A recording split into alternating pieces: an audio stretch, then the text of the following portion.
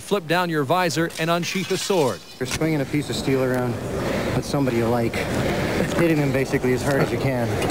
I'm hitting you as hard as you can, and you're going, that was kind of good. So forget about buying hockey equipment or a new mountain bike. The next great fitness fad might just be medieval. This weekend's workshop is the second annual get-together for enthusiasts of Western martial arts. Next year's conference is scheduled for New York City, and local organizers hope that within a few years, Western martial arts will begin to get the same recognition as Jiu-Jitsu and Taekwondo. Monica? Okay, thanks, Alan.